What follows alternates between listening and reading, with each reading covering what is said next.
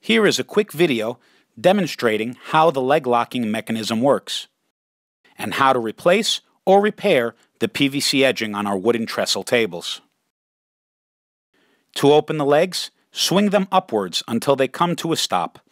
Then pull the leg out and pull up the locking arm. To close the legs, tap the locking arm down and push the leg inwards.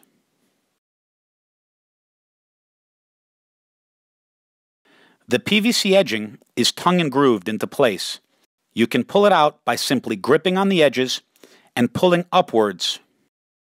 To reinsert, center it and tap it into place. All of our wooden trestle tables come with PVC nylon caps over each table leg. To remove or replace these, it's very simple. You twist and pull away to remove the nylon cap, and to reinsert, twist and push downwards.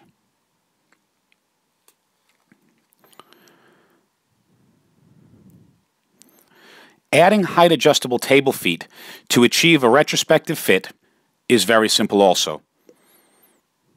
To install the height adjustable table feet, you simply twist and push downwards. To adjust the height, you can turn it clockwise or counterclockwise. We strongly advise using height adjustable feet to compensate for floor intolerance. It is perfect for uneven floors or if you are setting up your tables in fixed rows. Strictly Tables and Chairs offers the largest selection of wooden trestle tables in the UK.